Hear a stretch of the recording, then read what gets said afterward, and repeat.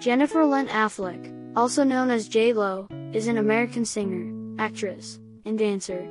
In 1991, she began appearing as a fly girl dancer on the sketch comedy television series In Living Color, where she remained a regular until she decided to pursue an acting career in 1993.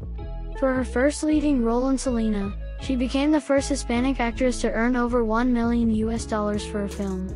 She went on to star in Anaconda and Out of Sight, and established herself as the highest paid Hispanic actress in Hollywood.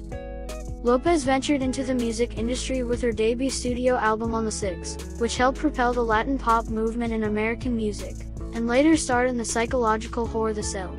With the simultaneous release of her second studio album J-Lo and her romantic comedy The Wedding Planner in 2001, she became the first woman to have a number one album and film in the same week.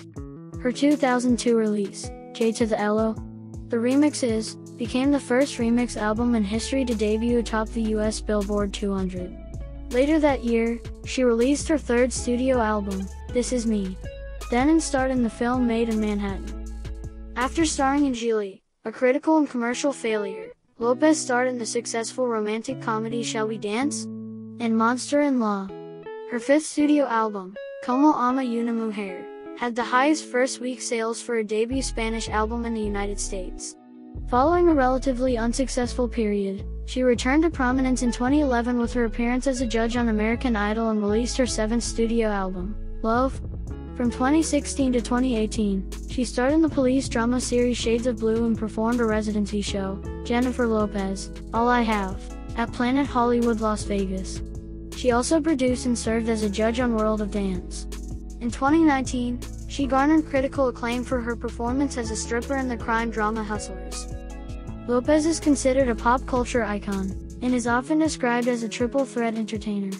With a cumulative film gross of 3.1 billion US dollars and estimated global sales of 70 million records, she is considered the most influential Hispanic entertainer in North America. In 2012, Forbes ranked her the world's most powerful celebrity, and the 38th most powerful woman in the world. Time listed her among the 100 most influential people in the world in 2018. Her most successful singles on the US Billboard Hot 100 include If You Had My Love, I'm Real, Ain't It Funny, All I Have, and On the Floor. For her contributions to the recording industry, she is a landmark star on the Hollywood Walk of Fame, and has received the Billboard Icon Award and the Michael Jackson Video Vanguard Award, among other honors. Her other ventures include beauty and clothing lines, fragrances, a production company, and a charitable foundation.